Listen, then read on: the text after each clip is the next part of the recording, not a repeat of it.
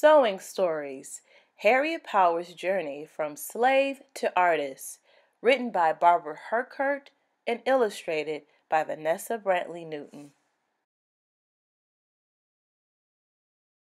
Sewing Stories Harriet Power's Journey from Slave to Artist.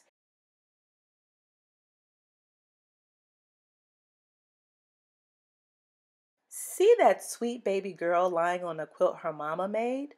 What could she be dreaming of?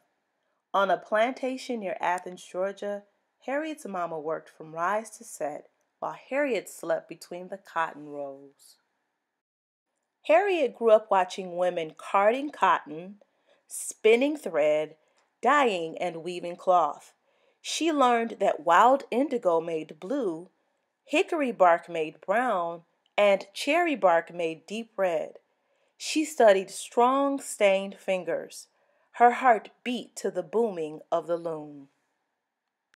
In the evening, the women gathered together and cut flour sacks and worn clothes into suns and moons and stars, lions, birds, and elephants for appliqued cloth legends of Mother Africa.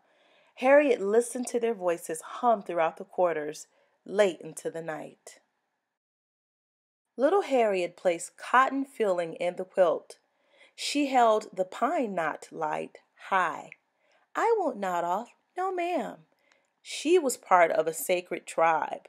By a crumbling fireplace, in the middle of the night, Harriet learned to sew stories. On Sundays and holidays, sometimes the master gave permission for a quilting bee. The women lowered wooden frames from cabin rafters.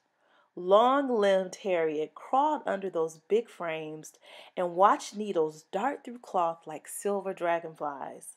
She thought, someday I'm going to sew a magic world. When the women finished sewing, making two or three quilts in just one day, folks gathered for peach pie and ginger cake, collard greens, and barbecue.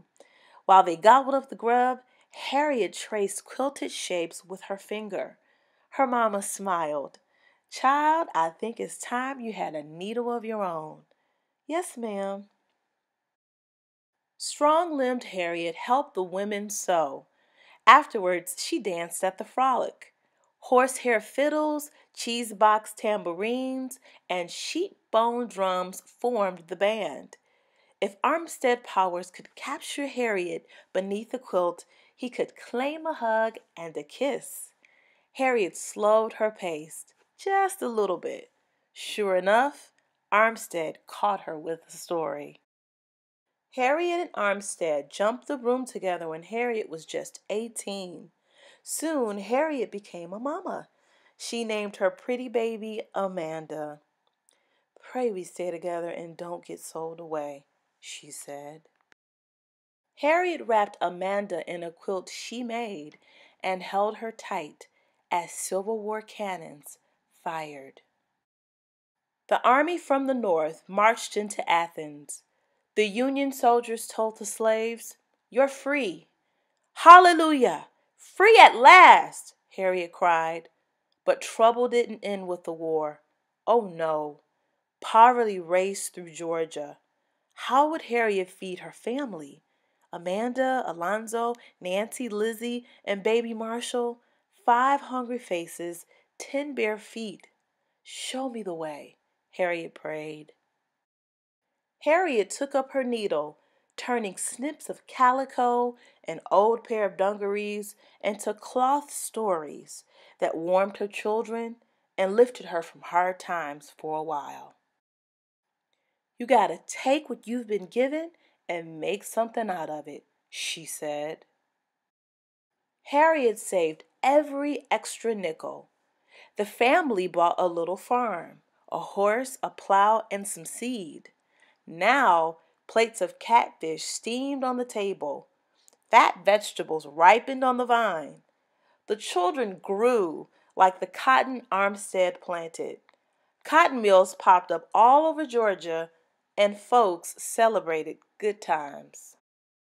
Athens announced its own party, the Cotton Fair. Folks were abuzz about the craft exhibit. Who would win best in show? I reckon the good Lord gave me a skill, Harriet said. She snipped calico as pink as watermelon. She cut strips of cloth as green as key limes. Harriet sewed stories of Cain and Abel, Jacob and Jesus too, familiar stories that formed pictures in her mind. She stitched Bible folks in scenes where polka dotted camels, elephants, and ostriches lived together in a fabric land. Folks at the cotton fair gathered around Harriet's quilt. A young woman, Jenny Smith, offered to buy it. How could Harriet part with a piece of her heart? No, ma'am, not for any price. Dark days came a knocking when the price of cotton fell Harriet sent word. Would Miss Smith still like the quilt? Oh, yes.